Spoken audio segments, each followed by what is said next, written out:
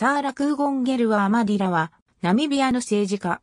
2015年3月21日から同国首相を務める。南西アフリカ人民機構所属。1995年から国民議会議員で2003年から2015年にかけて財務省を務めた。オムサティ州オカハオに生まれる。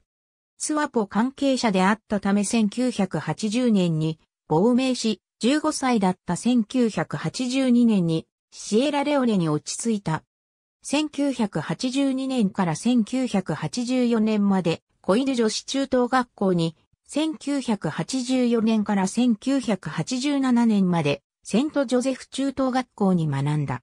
1991年から1994年にはアメリカ合衆国のフィラデルフィアにあるリンカーン大学に留学し、経済学の学位を取得した。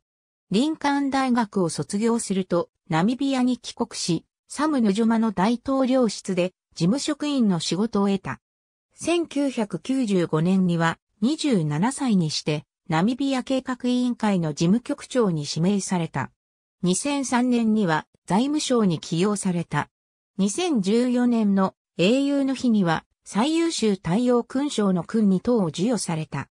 ハーゲガインゴブ大統領の下で、2015年3月21日にはナミビアの首相に就任した。